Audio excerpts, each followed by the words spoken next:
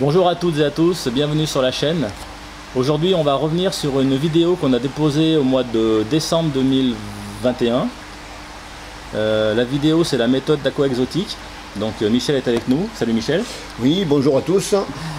Et cette vidéo a rencontré un vif succès puisqu'à ce jour euh, vous êtes près de 11 000 à l'avoir visionné. Et qui dit visionnage élevé dit question puisque la méthode était un peu, pas, inédite mais peu connue. Donc c'est pour ça qu'aujourd'hui on a recensé toutes vos questions et on va essayer de répondre à toutes. Et si jamais on oublie une par hasard euh, parmi celles que vous, vous posez, euh, n'hésitez pas à les mettre dans les commentaires de la vidéo. Allez, c'est parti.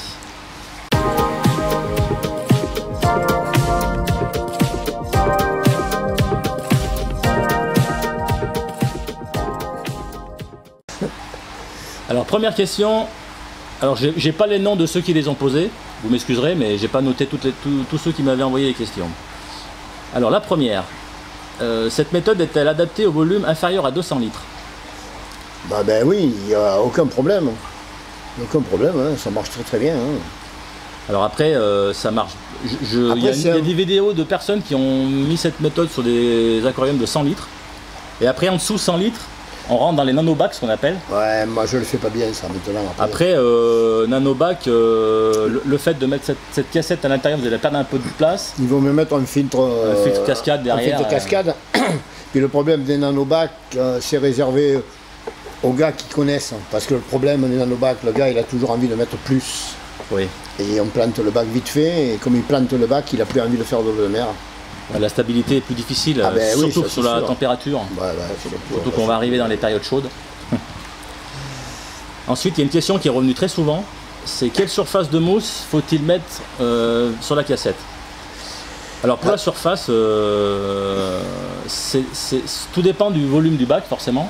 Ouais, tout dépend du volume du bac. euh, en général, euh, on se tient à peu près au volume du bac pour avoir la surface de la mousse. Et puis 15-20 fois euh, Le volume, le du débit. du débit. Ouais. Donc Alors il est évident que les petits bacs, la cassette va être grosse en proportion, parce que les pompes nécessairement euh, sont grosses. Alors euh, le minimum que je peux faire, c'est 13-13. On ne peut pas aller en deux en, delà, centimètres, en euh, centimètres. en centimètres, ouais. 13-13 cm sur la hauteur, ouais. Parce que les pompes. euh, Bah, typiquement sur mon bac pas, de, le bac de 250 litres, c'est 13 cm par 50 cm de haut, donc ça fait une surface de 650 cm Ouais. et ramené au volume, ça nous fait un peu plus de 3 cm par litre. Ben oui, puisque les, les pompes, on est obligé de des pompes relativement voilà. puissantes, et en étant puissantes, euh, ben, elles ont. Et en débit, on est à 7600 litres heure, ce qui fait Ouais. 38 fois le volume. Donc ça, c'est pour un petit bac. Et sur le, le- mon gros bac de 1200 litres, et ben là, c'est plus, c'est plus petit. C'est-à-dire qu'en surface, on est à 1,5 cm par litre, Ouais, et en volume, on est à 15 fois le volume. oui. Donc, ce qui fait 15 000 litres heure quand même. Donc euh, il y a suffisamment de brassage à l'intérieur du bac. Donc pour, pour- pour revenir concrètement à la réponse de la surface de mousse, bah, c'est fonction de votre bac. Vous ajustez la surface entre 1,5 et 3 cm par litre et puis, et puis voilà. Et puis sur le, bout de- le débit du- des pompes, bah, c'est pareil, entre 15 et... Après vous allez être limité par la taille des pompes. Et Donc oui, euh, n'achetez pas vos pompes avant parce que si vous achetez trop gros, elles vont venir euh, vibrer contre la paroi, ça va faire du bruit. C'est pour ça qu'il vaut mieux à la limite faire faire, comme ça au moins vous Voilà. n'êtes pas embêté. Donc, euh, Michel est là pour vous faire Ouais. les cassettes. Il, les en, il en a envoyé quelques-unes déjà. Parce que j'ai deux ou trois clients qui ont copié, enfin qui ont voulu le faire. Alors ils mettent pas les bonnes pompes, ils mettent pas les bonnes pompes de brassage, tout ça parce qu'ils ont des pompes, alors ils font des modifications, puis après ils disent que ça fonctionne pas. alors je pense qu'il faut pas trop s'embêter là, parce que euh, là le système fait économiser quand même pas mal de choses, puisqu'on n'a Oui. plus de, de, de déverse, on n'a plus de décante, on n'a plus de pompe de brassage. Il n'y a plus d'écumeurs. Alors, il y a plus d'écumeurs, donc je pense qu'il ne faut pas trop s'embêter à vouloir copier un truc euh, qu'on va mal copier en plus. Alors, ensuite, euh, cette mousse peut-elle se colmater? Ben, si Bah. le débit est suffisant, euh, non. On en revient non, toujours non, à la même, euh, euh, au principe de base, c'est que si ouais, le débit est suffisant, il n'y a pas de raison qu'elle se, Non, non, elle se colmate colmatera pas, pas. Puis c'est calculé pour pas que Ah ça oui. se colmate, parce que comme on ne la nettoie pas et que ça va fonctionner tout seul, D'ailleurs, toi, t'en as ici qui sont ah installés. mais moi, depuis- euh, depuis- 78, hein. Ouais, ouais. 78, j'en ai qui sont de 82, je les ai jamais sortis quoi. Bon, C'est un 40 eau de mer, 40 ans 82 un eau de mer. et oui, mais Donc euh, voilà, et surtout pas les, pas les nettoyer. hein. Parce que si on le nettoie, euh, bah, comme on disait, on casse tout. Et en casse tout, le- le- de, de biologique, on va repasser mécanique, hein, et cette fois-ci, on Ouais. aura quand même un vieux bac avec des poissons un peu plus gros, et on risque d'avoir un problème. Donc il vaut mieux éviter, d'autant que ce système fait tomber les nitrates pas mal, contrairement à ce qu'on peut penser. Ouais. Et si jamais on nettoie trop, on va avoir euh, un problème. Rayons de nitrate, remonter le phosphate et tout le tralala. Alors ensuite, on a eu beaucoup de questions aussi concernant le. Peut-on adapter ce système de, de cassette avec un système de filtre externe, par exemple? Alors non. Alors dans un filtre externe, c'est impossible. Donc, de toute façon, déjà, un filtre externe ne fonctionne pas mal en eau douce, mais alors en eau de mer, c'est une catastrophe. hein. Il faut éviter ça. Le débit est trop faible, forcément. Alors, le début de fait, et puis on produit des nitrates en quantité industrielle. Et, et dans le même style, on avait aussi le- la question est-ce qu'on peut mettre la mousse dans la décante? Si quelqu'un a déjà un bac qui tourne avec une décante, au lieu de placer la cassette dans le bac euh, principal, de mettre la mousse dans la décante. Et oui, mais on n'aura- pas le même, la même circulation d'eau, puisqu'on n'aura pas le même Bah oui, débit. on se retrouve dans le même problème qu'un filtre Alors, externe avec, un, ouais, ça va pas avec un débit trop faible. Ça ne va pas fonctionner. Euh, ensuite, peut-on remplir la descente de mousse? Alors pareil, il y avait encore Bah, l'autre cas, c'est de mettre la mousse dans la descente. Bon, alors là, je comprends pas bien la question, Euh, parce que... ne plus toucher euh, si on a un bac. Ah oui, Alors, la personne, je, je reformule, c'est que la personne a un écumeur déjà. Ouais. Alors je vois pas pourquoi elle veut Mais modifier si ça fonctionne. Je vois pas pourquoi aller mettre une mousse dans la descente si vous avez déjà un écumeur.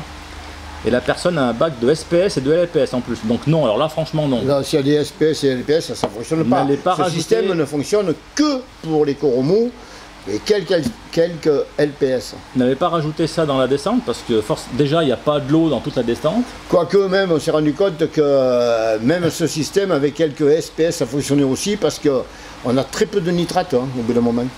Ouais, bah si on peut. On, on viendra après sur les paramètres de l'eau, il y, a un- il y a un chapitre là-dessus. Donc là pour cette, la réponse là est non. hein. On va pas Ouais, mettre une descente, non, euh, de la mousse dans la descente alors qu'il y a un écumeur. euh, ouais. et, et en plus pour un bac de SPS. c'est clairement non. fini, ouais, c'est clairement non. Euh, ensuite, on avait. Comment fait-on l'osmolation Bah, de toute façon, mon système, il n'y en a pas besoin, mais on peut très bien faire une osmolation avec une réserve d'eau automatique. hein, euh. Moi perso, je, rem- je, je complète euh, au seau euh, deux à trois fois par semaine. Voilà, manuellement. Alors, On n'a pas le même problème qu'avec une décante, puisque euh, bah si, avec une décante, c'est le même problème. euh, Il faut, il faut osmoler, osmo. osmolater, oui, il Osmolater. faut, il faut une- il faut une- Oui, mais là, moi, dans mon cas, même si le niveau baisse, ça continue de fonctionner. Ah oui, sûr. Ah oui, oui, oui, oui, oui, oui. Tandis que, Ouais. voilà. tandis- Oui, avant que la pompe euh, soit à sec, ouais. il y a quasiment plus d'eau dans le bac. Bah, hein. quand je pars, je m'avais dit 7 jours en règle générale, Ouais. euh, personne qui vient remettre de l'eau. hein, Quand je reviens. Ensuite, euh, quel pourcentage de changement d'eau? Alors, comme je dis, moi, si on a un bac chargé en coraux, deux changements d'eau par an, c'est bon, Ouais. 20%. Si on a un bac chargé en poisson, on peut faire trois changements d'eau à raison de 20%, mais pas plus. Il ne faut pas en faire plus. Et est-ce que euh, le fait de ne faire que deux ou trois changements d'eau par an, il n'y a pas un risque de carence dans le bac? Bah non. Moi, je l'ai pas. Alors après, on peut, on peut quand même faire un, un- un contrôle du calcium euh, Bah non, nous, le calcium, le minimum. le calcium n'est pas consommé chez nous. Bah, petit- a que des mous, un petit euh, peu, mais moins qu'avec Oui. des SPS. Ah bah c'est sûr, oui. Alors, euh, moi, je fais, je fais mettre que du magnésium parce que les coraux mous sont bien demandeurs de magnésium.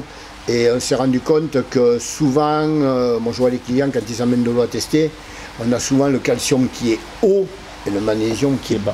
Ouais, Donc on, a, on, on perd surtout du, du magnésium. d'accord. Donc ça, euh, on fait le- la mesure euh, deux fois par an, ça suffit pour, le- pour le magnésium? On contrôle? Ouais, on contrôle deux fois par an, trois fois par an. Euh, Pour un de toute bac de façon, mousse, au feeling surtout. De toute façon, on voit bien le manque de magnésium. Tous les sarcophytons euh, n'ont plus les, Les polypes petites antennes. Ouais. Ah ouais. Les polypes sont pas les ouverts? petits polypes sont pas, ouverts- ne sont pas ouverts. Alors ensuite, on a une question sur le démarrage de bac. Est-ce qu'on peut démarrer un bac sans pierre vivante et uniquement avec des pierres mortes plus bactéries Bah ouais. Bah oui. Bah ouais, tout à fait. hein. Moi, je fais démarrer tous mes bacs avec des pierres mortes, des pierres à pierre là, qui sont derrière. Et quand le- la période, enfin le gars il achète l'aquarium, il prend quelques pierres, il les met dedans, il revient 48 heures après, je lui donne des bactéries vivantes que je prends dans mes bacs, je lui donne des, quelques pierres vivantes qu'il va poser dessus, et le bac est Ouais, ensemencé, hein, puis c'est tout. hein. Mais démarrer qu'avec des pierres vivantes, euh, je vois Bah, pas de on- l'utilité. On peut aussi, hein, mais. On peut aussi, oui, mais bon. c'est un budget, et puis Ouais, c'est un budget, ouais. c'est un budget où on n'a pas spécialement la qualité, hein, parce que dans les pierres vivantes qu'on reçoit, il y a souvent beaucoup de bébêtes. hein, qui sont- Ouais, après il y a des indésirables qu'on peut ramener dans le bac. oui. Après il y a les deux écoles. Et puis de toute, Oui. façon, de toute façon, le cycle de l'azote il se fera, il se fera, que ce soit avec des pierres mortes ou des pierres vivantes. Oui, puis de toute façon, le Il est, il est quasiment impossible de louper un cycle de l'azote. Ouais. C'est Ah, quasiment- obligé de l'avoir, de toute Ah oui, façon. oui, c'est. C'est soit il sera, il sera peut-être plus long ou moins long, mais Et- on peut, pas- on peut pas le louper. Et puis la personne qui met des pierres vivantes, il ne faut pas oublier que chaque fois qu'on met euh, des coraux, on va mettre une pierre vivante, puisque le Oui. corail est sur une pierre, alors nécessairement on amène. hein. Alors après, on, part, on a une- ça on verra après celle-ci. Euh, pourquoi le fait d'utiliser de l'eau du robinet pour les coraux mous est plus intéressante que l'eau osmosée, tandis que les coraux durs, ce n'est pas le cas? Alors, j'ai posé la question telle qu'elle on me l'avait posée. Alors, euh, l'eau du robinet, euh, elle est très. Moi, j'ai démarré mes bacs avec de l'eau du robinet. alors après, il faut.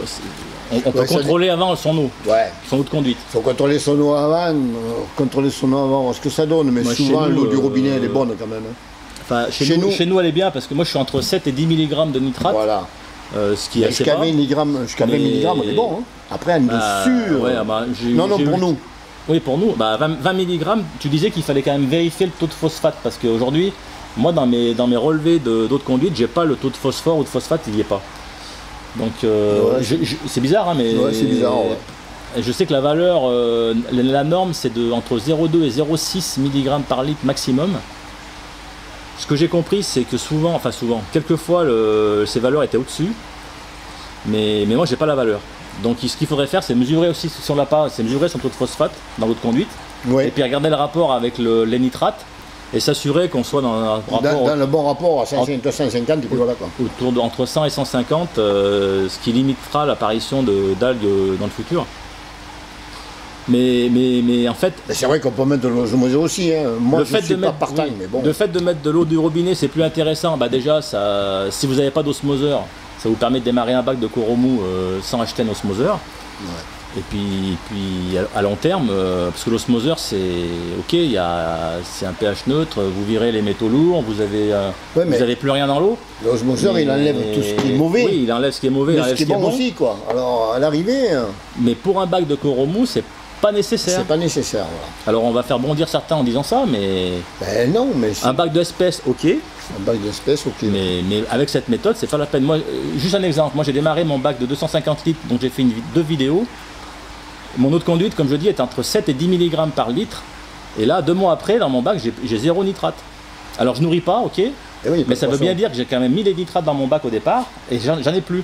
Donc ces nitrates ont été consommés par les bactéries. Vous avez les, les bactéries dans les zones anaérobies Ouais. qui, qui viennent, euh, qui, qui viennent réduire, euh, réduire les nitrates. Donc j'ai bien un bac qui s'auto-suffit. suffit. Oui. Et aujourd'hui, bon, je, je nourris pas, ok, mais voilà, j'ai plus de nitrates. Alors j'en ai mis à l'origine. Tu nourris pas, mais il faudra quand même. si Je nourris pas, mais bon, j'ai j'ai mes, j'ai mes boutures de coraux, j'ai des escargots. Euh, que- J'ai un escargot qui est mort, donc forcément ça fait de la, la matière organique en plus. Et mes bactéries ont, ont très bien géré puisque j'ai pas de nitrate. Quand on fait un bac, si on nourrit pas, il faut quand même nourrir comme s'il y avait un poisson, au moins toutes Ouais. les trois semaines à peu près. Voilà, donc on met un peu de, ou des, un peu des de granulés. ou quoi, hein, morceau de pour nourrir les bactéries, parce qu'après, le Ouais. semence entre elles. Pourquoi un écumeur est intéressant pour les coraux durs plus que pour les coraux mous? Eh bien, c'est ce qu'on a dit tout à l'heure, c'est que dans un bac de coraux durs, il faut une eau très peu chargée en nutriments. Donc euh, la, la méthode classique, c'est d'utiliser l'osmo, euh, pas l'osmoseur, si l'osmoseur, plus l'écumeur, et pour qu'en fait on ait très peu de nutriments dans, les- dans le bac. En fait, les coraux mous se nourrissent de l'eau. Alors il faut donc une eau chargée. Ils vont filtrer l'eau pour se nourrir. Contrairement aux coraux durs, genre SPS, qui eux se nourrissent de la lumière. Donc il faut une eau hyper limpide. Donc on va mettre un écumeur pour avoir l'eau limpide pour que la lumière pénètre. Ce qui n'est pas le cas des coraux mous qui eux veulent une eau aller charger. J'allais dire sale, mais chargée. Ouais, surtout euh, un écumeur, il aide. il- Parce qu'au parce départ, les écumeurs, euh, c'était une aide pour justement pour extraire la matière organique avant qu'elle se soit départ- dégradée. Au tout départ. C'était uniquement une aide. Et, et- et- et la technologie aidant, aujourd'hui, Oui. on, on écume beaucoup, Ouais, voire on écume trop. trop. Et du coup, on enlève quasiment tout et du coup, on appauvrit l'écosystème. Au tout dé- euh, oui, mais au et- tout et- départ, il y a 30, 35, 40 ans, on avait des écumeurs parce qu'on avait des gros poissons. On n'avait pas de coraux. Donc les écumeurs étaient là pour enlever, euh, ouais, pour, pour enlever le, oui, pour euh, enlever les la saletés des gros poissons. Ouais. quoi. Petit à petit, les gros poissons ont disparu. On est passé au coraux. Et là, les écumeurs sont restés, mais les écumeurs enlèvent vraiment trop. quoi. Et puis c'est celui qui va avoir l'écumeur le plus gros. C'est pas nécessairement. Ouais, puis, puis au final, on voit qu'après, on est obligé de rajouter ou des NO3 ou des PO4 parce qu'ils sont trop bas et les gens ont des problèmes de, de cyano Oui. euh, plus en finir. euh. alors, je dis pas qu'il faut pas d'écumeur, pour, il faut enlever l'écumeur Ah pour se débarrasser des cyanos, mais, mais on arrive à un, à un point où, à force de trop écumer, on appauvrit tellement l'eau qu'il faut rajouter des nitrates et des phosphates. Euh, C'est un peu le monde à l'envers, quoi. Ouais, c'est tout à fait ça. ouais. Allez, moi, l'écumeur, oui, mais faut pas non plus surécumer. Quoi. Bon, après, c'est facile à dire, mais, mais, c'est- mais c'est, c'est dur à, c'est dur à avoir un milieu stable qui, et puis durable dans le temps. Quoi. Après, euh, peut-on garder sa décante avec un refuge sans écumeur? Alors, bah oui, si- on, on peut très en bien, bas, là-bas, on, oui. on peut très bien utiliser la méthode de Ah, Michel. Si vous avez un- une décante, vous pouvez très bien la garder et vous en, vous en servez comme refuge, c'est très bien. Mais par contre, il faut, tout- il faut avoir le- la cassette dans le bac et pas mettre la mousse dans Ah la oui, décante. oui, oui, oui, parce qu'on n'aura pas assez de. On peut très bien mettre de une, dé- débido, quoi. une décante avec, euh, circulation. avec des- de la Caeta Morpha pour gérer en plus les nitrates si vous l'avez, mais plus un refuge. Voilà, ouais. Mais- Cette décane peut servir aussi de remise à niveau Voilà. du grand bac. Ouais, hein. bien sûr, oui. Mais par contre, euh, mettre la décante et... ou mon système dans la décante, ça marche pas. Non, ça ne marchera pas. Euh, sur un petit bac de 90 litres, c'est deux changements d'eau par an aussi. Bah pareil. Bah oui, pareil. pareil. Peut-on enlever l'écumeur, puis remplir la décante avec différents supports bactériens?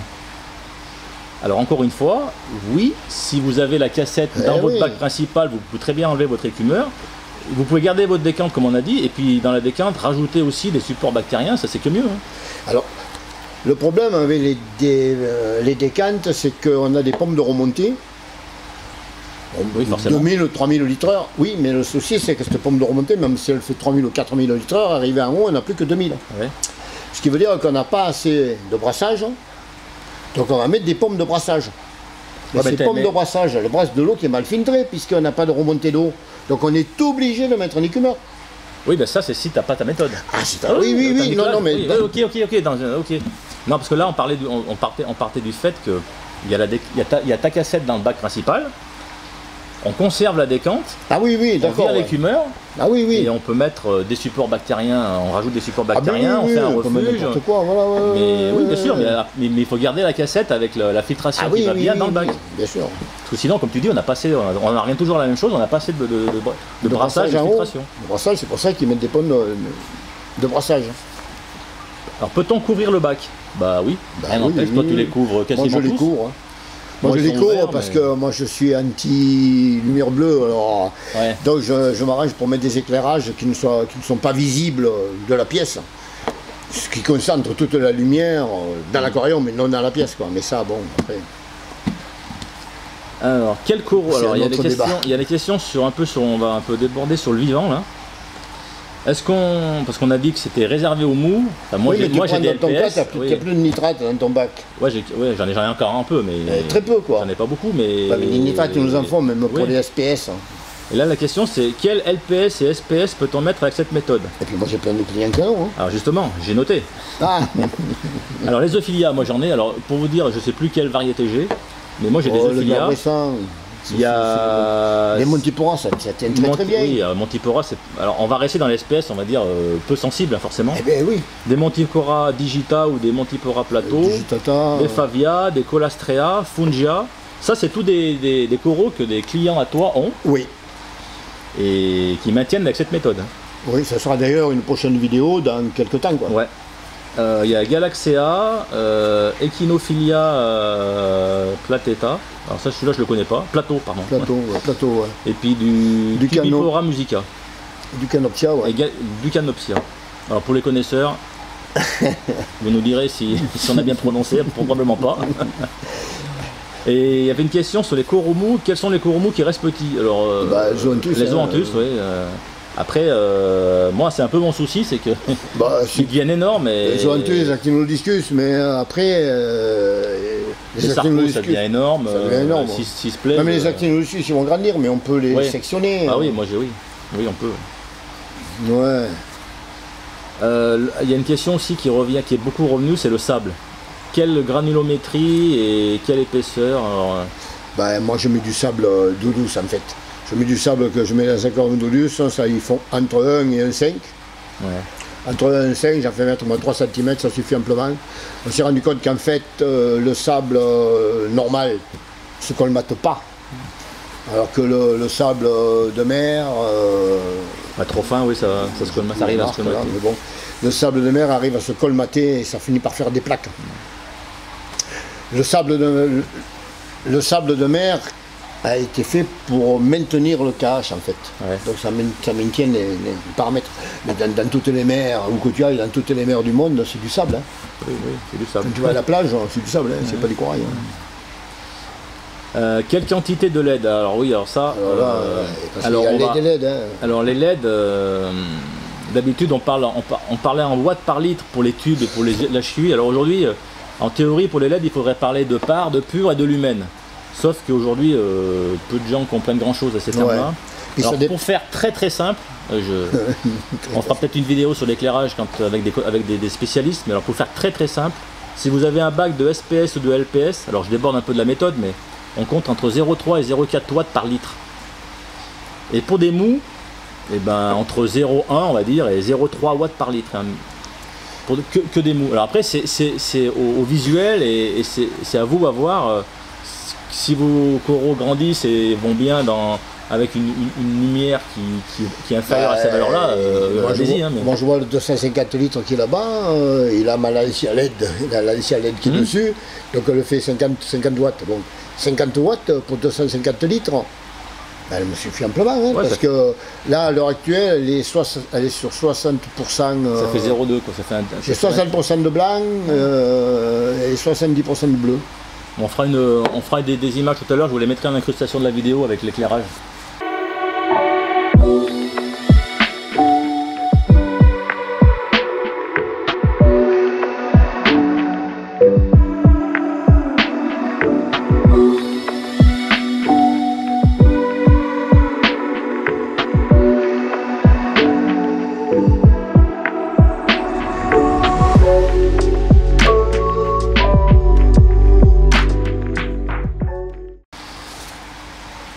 Donc voilà, alors pour faire, euh, je, ré- je répète, pour faire simple, euh, pour des bacs de LPS, SPS 0,3, 0,4 watts par litre, et pour des mous, euh, maximum 0,3 watts, ça ira. Oui, il faut éclairer beaucoup moins pour les mous. Alors après, ce qu'il faut faire attention, Moitié moins, donc à moitié moins en consommation aussi. hein. oui, et puis ce qu'il faut faire, en fait, les- rampes, il faut regarder, c'est la surface d'éclairage. La surface d'éclairage, et pas à quelle hauteur ils vont vous, les mettre. hein. vous avez des rampes de 100 watts, ce qui est beaucoup. Par contre, elles éclairent euh, 50 sur 50. Voilà. Si vous avez un bac qui fait 1m50, il faudra mettre au minimum 2 voire 3. Non, puis il faut les Alors monter. que, oui, puis il faut les monter. hein. Alors Alors, qu'un réglette, c'est quand même plus pratique, Ah ben ouais. C'est plus homogène. Alors enfin des bon. fois, il vaut mieux avoir une lance à LED à 50, cent- à une 50 watts à 10 cm de l'eau Mm. qu'une à 150 watts à 40 cm Ouais. de l'eau qui, elle, va éclairer toute la pièce et perd, perd. Ouais, Euh, c'est vrai. C'est vrai. Aujourd'hui, oui, il faut faire attention aux économies. Je pense qu'il faut regarder ce qu'on met comme rampe et où on la met. Oui, on la met. Euh, Est-ce que ta méthode est adaptée à l'eau douce? Bah oui, Bah oui. Il y a des bassins qui sont équipés comme ça. bah, tous les accords qui sont là, ils sont adaptés à nous. Tous mes accords tournent comme ça. hein. Bon, il y a moins de débit, c'est sûr. Euh, donc toujours sur la, si- sur la, la méthode, peut-on mettre une cassette de chaque côté du bac? Bah oui. Oui. Ben, si les bacs sont grands, quand je fais des bacs de 2m50, là je vais Oui. faire un bac de 2m70, ben, j'en mets deux, une à droite, une à gauche. hein. Là j'ai un 4 mètres à Aubenas qui tourne. Qui tourne. Et là, lui ça a été différent parce qu'on en a mis. On a fermé les, les deux côtés en fait. Donc j'ai Ah mis ouais. quatre pompes. Deux à droite, deux à gauche. Ah oui. On a mis. En fait il a 4 fois 10 000, il a 40 000 ans. Et il, fait, il, alterne, non Pour avoir des. Il alterne parce que les- un coup euh, tout- il, en a deux qui tournent en haut et deux qui tournent à moitié. Ah oui. dans le sens, et puis tous les trois mois à peu près, il inverse. Il inverse, Et ah oui. il fait, alors un, tour- un coup ça tourne comme ça et un coup ça tourne. Avant il le changeait tous les mois, mais il s'est rendu compte que c'était pas bon parce que les coraux ça les couche quoi. Ouais. ils viennent s'accrocher là. Ah oui, ils prennent de sur Ils le... prennent euh, et quand ils le mettaient de l'autre côté, ça les redécroche. Ouais. Euh, au bout de trois- s'il le fait tous les 3-4 mois, le corail a eu le temps le temps de. voilà. de- de se mettre, de s'accrocher. Euh, Faut-il Par contre, j'ai un supplémenter- 5m50, 5m50, lui, on a mis deux systèmes, une deux cassettes à droite à gauche, Ouais, mais on en a mis deux au milieu. D'accord. Ah oui, en plus. Bah oui, 5m50. Ah oui, ça fait oui. En largeur, il faisait combien, tu te rappelles, non Euh, il fait 80 de large. Mais il est sur le. Ah, il est pas très marrant, il y est sur mon site. D'accord. C'est celui où t'es dedans, là Non, non, Ah non, c'est pas- euh, ça c'est celui Non, non, non, non. Non, mais il y est, il est éclairé en bleu. D'accord. Euh, Faut-il supplémenter? Bah, C'est ce qu'on a dit un peu tout à l'heure. Ouais, un peu euh, tout à l'heure, oui, on, ouais. on Moi, je- moi, un je rajouter- par an pour voir vais Niveau- mettre du magnésium. c'est magnésium. Est-ce difficile de faire un bac mixte dur et mou? Bah, Dès que vous avez des durs, euh, forcément, il faut une eau très peu chargée en nutriments. Donc, euh, Alors on a quelques. il- Bah si, parce que Daniel, par exemple, Daniel, il a bien des, des Oui, durs. il a des Mais, durs et des euh, mous. Voilà, il a des durs et des mous parce qu'il a un bac qui est super bien filtré, Ouais. euh, bien éclairé, et on Et après, il faut, il, faut, il faut faire attention au nourrissage. Il ne faut pas trop. trop En fait, il faut partir du principe que les mous vont consommer l'eau chargée. Ouais. Et les SPS veulent une eau propre. Alors s'il y a suffisamment de mou pour euh, décharger Ouais. l'eau, on a certains Ouais, SPS qui arrivent à passer. Ouais. Mais bon, Oui, mais après, il faut l'éclairage qui va bien voilà, pour les ouais. c'est pour ça que certains SPS vont passer, mais Ouais. on met des dans les- ça passera pas. hein. Ouais, c'est clair. Alors là, on rentre dans les, justement dans les paramètres de l'eau. Alors une personne avait, j'ai 20 mg de nitrate, est-ce que je peux utiliser cette eau? Bah ouais. Alors on dit oui, si les, les phosphates sont équilibrés par rapport à ces nitrates. Quoi. Donc Ouais. un rapport entre 100 et 150 Entre ça et fois moins 150, ouais. de phosphate que de Ah nitrate. oui, oui, oui, oui. Après, il y a la, la relation entre salinité et, et calcium. Euh, ce qu'on avait dit dans la vidéo que En il y avait un rapport de 12. Oui. Et, et les gens prenaient ben, quel- 12 par rapport à quoi? Mais 12 par rapport à quoi? Parce qu'ils se sont rendus compte, c'est pas moi qui l'ai fait, hein. Ils ont testé euh, beaucoup de mers dans, dans le- dans- sur le globe, ils ont testé toutes les mers, ils se sont rendus compte que les salinités étaient différentes, qu'avec ces salinités différentes, il y avait un taux de calcium qui était différent et un taux de magnésium qui était différent. Donc ils en ont déduit que à partir du moment où telle salinité, on a tant de calcium, Ouais, ils ont fait le rapport. ils ont fait le rapport, ils se sont rendus compte qu'il fallait multiplier par 11,8, mais enfin, Ouais. par 12, par 12 on a le calcium, par 3 on a le magnésium. Donc quand on dit le calcium par 12, Mais c'est-à-dire vous, vous prenez la, dose de sel que vous mettez par litre, si vous mettez 35 grammes de sel dans vos, par litre, vous Là, faites oui. 35 grammes x 12, ça vous donne 420 mg de calcium par litre de, euh, de calcium. Et là, on va multiplier ce chiffre par 3 et on aura le, taux, de magnésium. Bon, c'est euh, C'est à peu près, hein, c'est pas, voilà, c'est pas non plus. euh, c'est un ordre d'idée. faut pas me téléphoner Donc ça me veut dire que- j'ai 33,33 quoi. Donc ça veut dire qu'avec 420 grammes, dans notre cas, 420 grammes de, milligrammes de, de par litre de calcium, c'est largement suffisant Oui, pour un bac de mou. hein. ouais, ouais. Bon, ça on a répondu. Euh, comment maintenir un pH entre 8,1 et 8,3 Ben, le problème, là, on va rentrer de nouveau dans le problème de l'osmosée. Comme l'osmosée, elle a un pH qui est bas, on a un pH bas, alors soit on coupe hein, un petit peu avec de l'eau du robinet, soit on coupe pas, mais nous, dans notre cas, on est incapable de couper avec de l'eau du robinet pour avoir un pH un peu plus stable.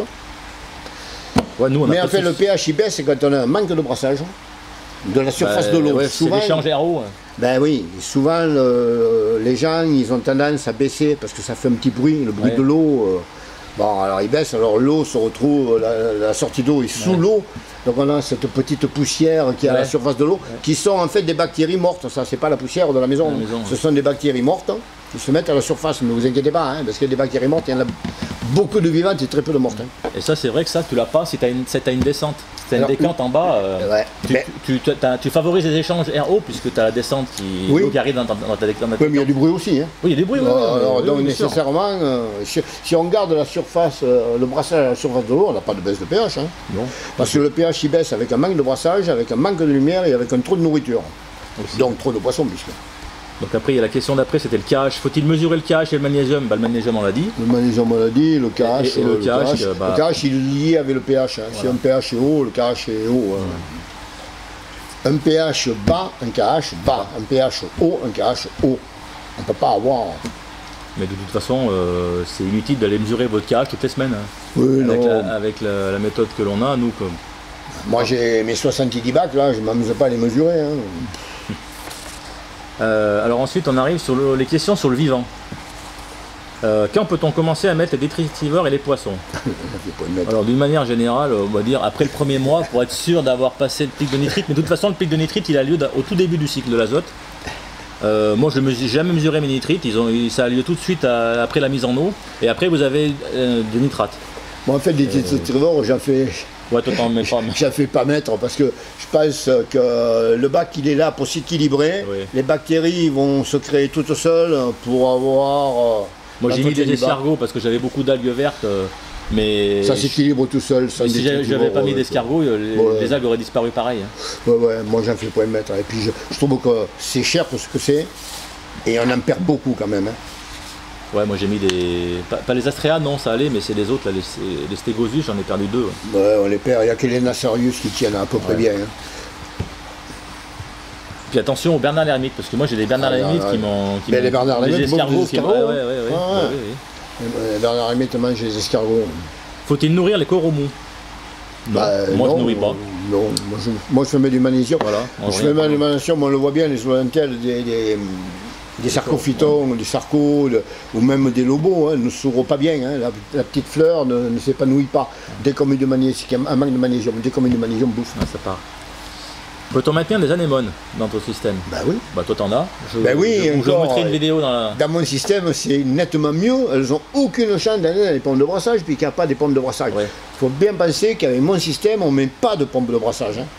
Ouais, esthétiquement c'est bien, et puis, et puis vous risquez pas de mettre une, euh, anémone Le système il est viable que si on ne met pas de pompes de brassage. Il ne faut pas dire je mets le système, j'avais des pompes de brassage, je les ai. Non, non, non, les pompes de brassage au garage.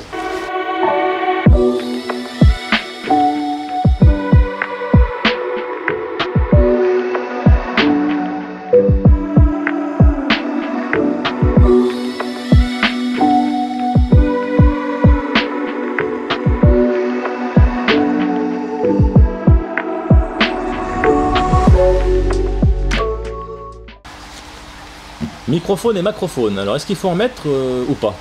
Alors, euh, alors c'est indéniablement un apport euh, bénéfique, ça c'est clair. bénéfique, ça c'est sûr. Et, moi, même à mon avis, c'est même moi, la base. Moi, je pense qu'il hein. faut en mettre et en re-remettre de temps en temps. Et pas en mettre qu'au début, et oui. Moi, j'ai des clients qui viennent régulièrement, alors je leur en donne dans mes bacs, hein, parce que mes bacs, c'est tous mes bacs, mais c'est pas les mêmes bactéries qu'il y a dans les bacs. Hein. Ah, ça, c'est bactéries, là, on parle microphone et macrophone. Oui, microphone et macrophone. Ça va avec, ça va avec. Et puis, euh, alors microphone. Quand, quand, je presse ma mousse, je leur donne euh, un demi-litre de sable. Oui, forcément, il y en a dedans. Forcément, il y en a dedans. Ah en. Et elle se voit pas la microphone. Hein. Euh, quand, quand, quand, on dit ouais mais moi je vois rien dans mon bac, certes on voit rien mais il y en a. Aller voir la vidéo que j'ai faite sur, les, sur la, le test de Aqua Microphone où, je filme la, la, microphone, elle, elle, est bien présente. Hein. Ouais, elle est présente. Alors certains m'ont assuré qu'ils n'en avaient pas. Ils n'ont pas regardé. Je hein. suis sceptique quand même. Non, non, ils en ont dans tous les bacs c'est obligatoire ça. Ouais, c'est obligatoire. Bah écoute, euh, écoute, on a fait le tour de, des questions que j'avais notées sur, euh, sur les commentaires des vidéos. N'hésitez pas à faire part de vos autres questions si on a oublié quelqu'un. on répondra à tout le monde. On pourra peut-être même refaire une vidéo, euh, peut-être pas que là-dessus, mais sur, sur d'autres sujets. Et puis si vous avez des sujets qui vous intéressent et que vous n'avez pas d'infos et que vous voulez avoir notre avis, bah, mettez dans un commentaire, on, tâchera de répondre. Ouais. T'avais rien d'autre à ajouter? Bah, J'ai rien d'autre à ajouter. Hein. merci pour, euh, pour les visionnages. Comme tu disais, on a... bon, la chaîne n'est pas vieille, hein, elle a démarré euh, on va dire fin novembre. Aujourd'hui on est mi-avril. Donc décembre, janvier, février, mars, avril, 5 mois. Bon, on est à plus de 40 000 vues. Euh, écoutez, alors moi, ce que je peux déjà vous dire, c'est que j'ai fait des courriers pour essayer de me renseigner sur la dangerosité des LED, surtout des bleus. J'ai pas eu encore la réponse, mais je pense que je l'aurai sur la prochaine vidéo. Et ben, c'est tout. Et hein. puis il y, a aussi la, loi qui, va être promulguée. Il y a la loi, mais la loi normalement elle devrait s'appliquer que pour les SPS. Les SPS ou euh, le CITES euh, elles seront obligatoires, mais il y est déjà. Mais par contre, pour les acheter, il faudra, normalement, il faudra que la personne qui l'achète ait un certificat de capacité. Alors ça va être compliqué, je pense. Bah, mais je ne sais pas. Je ne sais pas exactement euh, ce qui va se passer. Mais je pense que les espèces, ça va être compliqué. Voilà, bah écoute, euh, bah, écoute, on va, on va arrêter. Et puis là de notre côté, même si on supprime l'espèce, c'est un peu embêtant, mais euh, à l'heure actuelle, on va faire des économies d'énergie, des économies de tout. Ouais. D'autant que les SPS, c'est pas une grosse part du marché. Moi, je croyais que c'était beaucoup plus. Ouais, tu disais combien? 12% Ben, on n'est que 12%. 12%. 12% de la part de marché, c'est SPS. 12% de, dans le marché, dans, dans la De chlorophylle la marine. marine, ouais. Donc ça veut dire tout le Ouais, reste. ça veut dire que tout le reste, c'est des 80 plus euh, c'est des et mous, euh, mous et, mous et le reste. Ouais. Très bien, bah écoutez, on vous dit à la prochaine pour euh, de nouvelles aventures. oui. Et puis prenez soin de vous et à bientôt. Et n'hésitez pas à envoyer un mail, euh, à cliquer surtout euh, pour, pour s'abonner. Et Michel, et Michel est prêt à vous faire des cassettes, hein, n'hésitez pas. N'hésitez pas, ouais. Envoyez, envoyez. Salut à tous Au revoir. Michel ne vous l'a pas dit, mais cette méthode de filtration a fait l'objet d'un dépôt de brevet il y a de nombreuses années, et Michel l'a renouvelé récemment. Donc il n'est pas dans le domaine public. Mais pas de problème pour l'utiliser en tant que particulier dans le domaine privé. Voici quelques questions que l'on a oubliées ou qui sont arrivées après le tournage de la vidéo.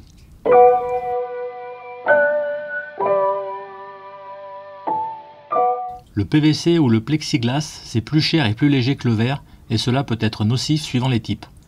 Surtout la colle, donc ce n'est pas conseillé.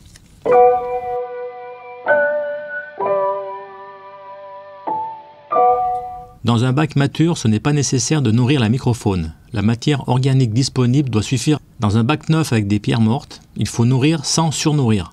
L'idéal, c'est du phytoplancton vivant, mais 2 grammes de poudre de spiruline 100% bio mélangée à de l'eau deux fois par semaine permet de créer du phytoplancton mort mais frais.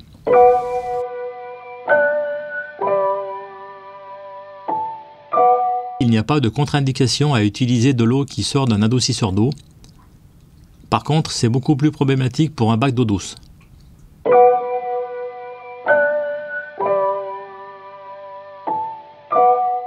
Une eau calcaire va permettre de maintenir un KH élevé. Pour cette méthode où la consommation de calcium est faible, l'eau calcaire n'est pas un problème. J'habite dans une région très calcaire et j'utilise cette eau.